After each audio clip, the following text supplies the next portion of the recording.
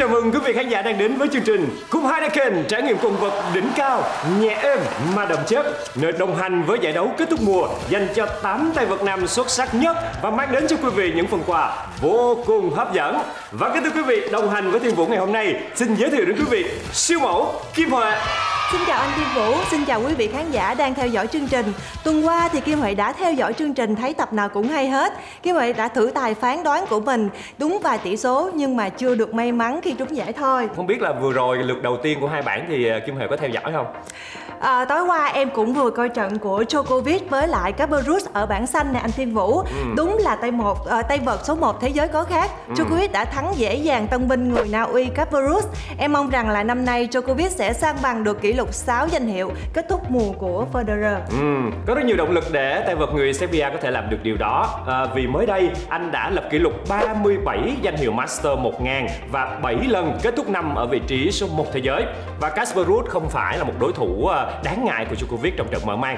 Lần đầu gặp nhau ở Rome vào năm ngoái thì anh đã thua Djokovic với tỷ số là 5-7 và 3-6. Mà Casper Ruud thì chưa bao giờ thắng một tay vợt nào nằm trong top 10 ở trên sân cứng cả. Nên trận mở màn bảng xanh vừa qua thì cũng không phải là ngoại lệ. Và chiến thắng vừa rồi cũng đã giúp Djokovic cân bằng được thành tích 39 trận thắng ở giải kết thúc của huyền thoại Ivan Lendl. Đây là thành tích tốt thứ hai trong lịch sử giải kém kỷ lục 59 trận thắng của Federer.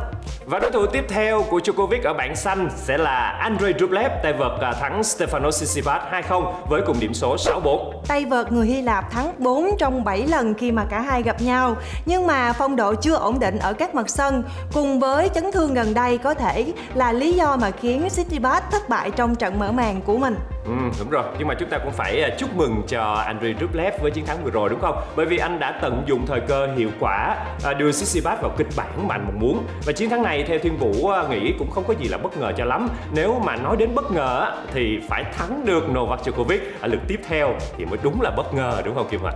Không gì không thể nha anh Thiên Vũ. Mà Rublev đang hưng phấn sau khi thắng được trận mở màn thì kiểu gì cũng phải cố gắng thắng Djokovic một ván. Để Thiên Vũ tính sơ sơ thử quý vị nhé. Ở lượt À, thứ hai vòng bảng năm mùa gần nhất anh tham gia. Thì Djokovic chỉ để thua có đúng một trận vào năm 2019 à, những năm mà anh vô địch à, 2008 nè rồi từ 2012 đến 2015 thì ở lượt thứ hai Djokovic cũng chỉ thua đúng một lần. Nhưng mà trong các năm kể trên có rất nhiều trận đấu phải cần đến 3 ván mới quyết định được kết quả chung cuộc hồi xưa hồi xưa đó anh Thiên Vũ thì có Songa nè Federer rồi berdit thì bây giờ khác rồi chắc chắn Djokovic sẽ trội hơn đàn em Rublev khi mà thành tích thắng ở năm 2021 của anh là 89% trong khi Rublev thắng 71% còn ở sân cứng Djokovic thắng 87% trong khi Rublev thắng 71% Kim Huệ cũng thích Djokovic lắm nhưng cũng muốn động viên Rublev làm khó được Djokovic một cách tối đa trong lần gặp đầu tiên.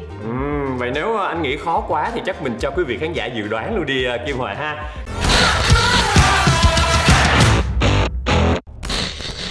Bạn hãy dự đoán tỷ số ván thứ hai, trận đấu giữa Novak Djokovic và Andrei Rublev theo thứ tự tay vợt Hmm, phần này thú vị nè anh Thiên Vũ.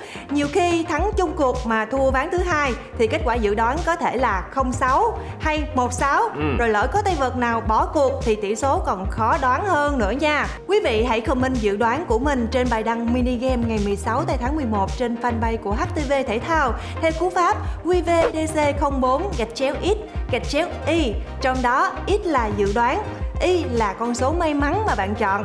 Thông tin về mini game có trên fanpage của HTV Thể thao luôn nha. Cảm ơn Kim Huệ rất là nhiều. Còn bây giờ thì chúng ta cũng phải nói lời chào tạm biệt với quý vị khán giả thôi và xin chúc cho Kim Huệ ngày hôm nay ừ. sẽ dự đoán cực kỳ chính xác nha. Dạ, còn bây giờ thì xin được kính chào tạm biệt quý vị khán giả và hẹn gặp lại vào ngày mai.